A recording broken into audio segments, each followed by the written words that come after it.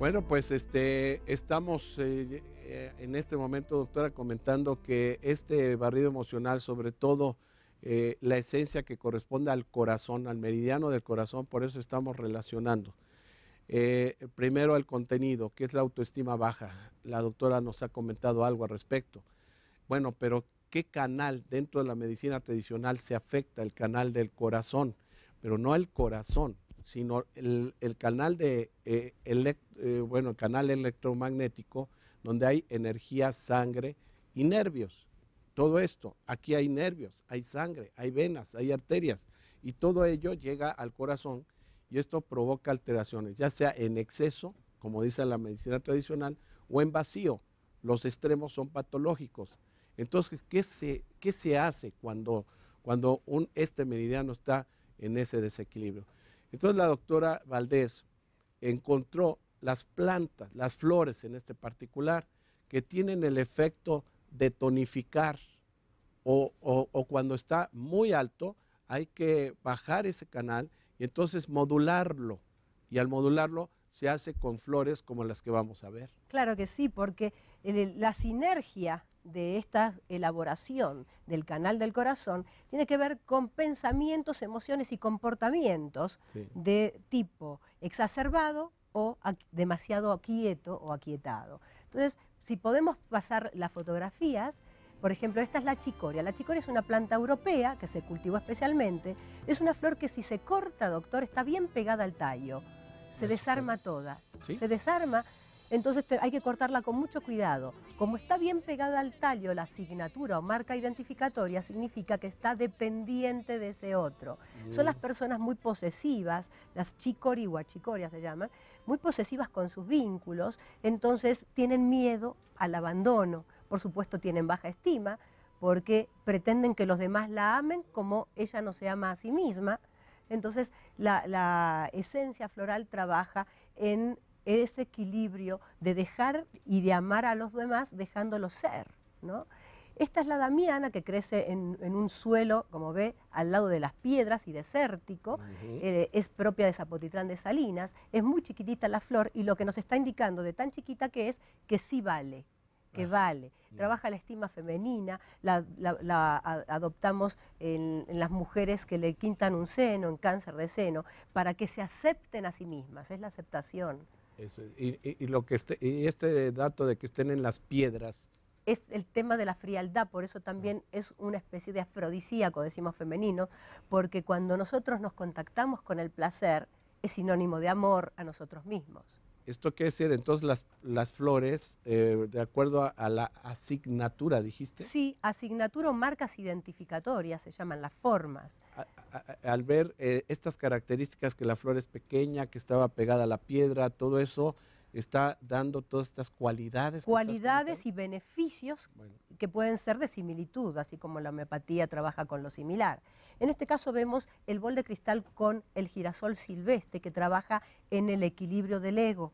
El girasol grandote se le cae en la cabeza por soberbio, pero el chiquitito no se destaca entre los demás. Entonces, ah. este equilibra esta, esta posición de inseguridad o, demasiada seguridad ah, en la persona. Muy bien. Después tenemos eh, otra florecita, a ver si podemos ver, es el maguey. Este da paciencia para las personas que están como muy sobresaltadas, sobreexcitadas, por ejemplo, hipomaníacas o maníacas. ¿Quiénes son los maníacos? Estas personas que hacen cosas muy rápido, eh, de manera sin pensar. Eh, mucho sirve este, este canal corazón en los cuadros que se llaman trastornos eh, de bipolaridad, el trastorno bipolar, doctor. Eso es. ¿Mm? es eh, eh, esta flor entonces es la, flor del maguey. Es una flor impresionante que crece 15 metros. 15 metros y tarda 15 años en crecer. Es una flor que aparece en los códices como Mayagüel. Hay mucha historia, mucha, mitología. ¿Y esta que estamos viendo? Y esta es la orquídea alegría. Es una orquídea cultivada especialmente, porque la conocemos, es asiática, y trabaja en esta escasa alegría. El corazón, cuando está contento y se ríe, está sano. Es necesario reírnos y nos contacta con ese niño interno que todos traemos. Y la carcajada puede sacar muchas de las patologías y los desequilibrios. Un buen corazón implica una buena sonrisa, ¿no? Así es, doctor. Y nosotros eh, siempre comentamos que la gente que eh, no, no está conforme, la gente insatisfecha, es la gente que no puede reír o no puede darse, digamos, esta posición de mirar la vida desde otro lugar la alegría de vivir, ¿no? Esta es la esencia que nos otorga esta alegría de vivir. Entonces tú eh, vas al campo, doctora, muchos años, hablábamos de 10, 12 años. Sí, 12 años hace que empezamos el proyecto. El proyecto, te vas al campo y ahí se van descubriendo todas estas, estas flores algunas se descubren y otras se realizan porque ya están tipificadas en otros sistemas. Tenemos, por ejemplo, eh, el chile, el, maguey, ya también estaba la vainilla, ya estaban eh, eh, existiendo en el sistema de Pegasus, en el sistema California, y son oriundas de aquí. Entonces lo que hicimos es trabajar con la flor silvestre.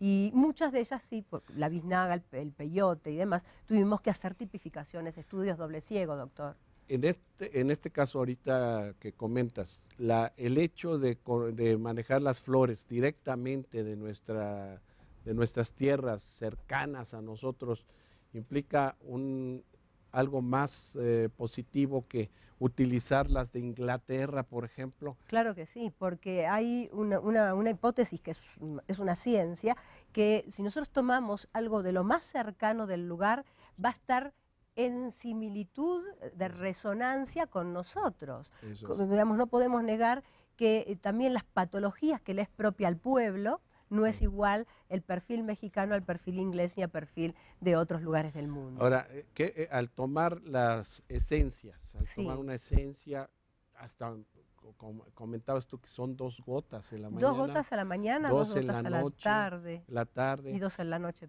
quizá. bueno, son dos dos, o tres tomas por día. Dos a tres tomas. ¿Esto lo determinas en, relación a, qué tan crónico está el problema? Exactamente. Lo que pasa es que si cuanto más de gravedad tiene o más cronificado está en la persona, le va a costar un poquito más de trabajo cortar con ese patrón o con ese hábito, o mal hábito que trae. Por ejemplo, las adicciones son propias de, también del canal de corazón. Mira, yo quisiera hacer un comentario al margen ahorita que estábamos viendo eh, la extraordinaria pues, eh, eh, toma que, ahorita se, teníamos de las esencias y también de esta escultura. Yo quiero también comentarles, esta escultura me la, me la regaló el, doctor Federico de Tavira. Federico de Tavira, que es un psicoanalista extraordinario. Fíjate, psicoanalista y escultor. Lo conozco. Entonces, gracias al doctor Federico de Tavira, que pronto lo esperamos verlo eh, fuerte, con mucha vitalidad, sano y sobre todo, bueno, pues con este eh, eh, regalo que nos ha mandado de esta extraordinaria escultura que nos ha acompañado durante este mes que cumplimos hoy, un mes aquí en Salud Integral. Felicidades. Bueno, vamos a ir al corte, regresamos 52 54 66 22. Este barrido emocional, no se lo pierda, se maneja en nueve meses y son estas esencias que ustedes están observando y que poco a poco la doctora nos ha ido comentando cómo se realizó esta investigación, la floriterapia tonal. Regresamos.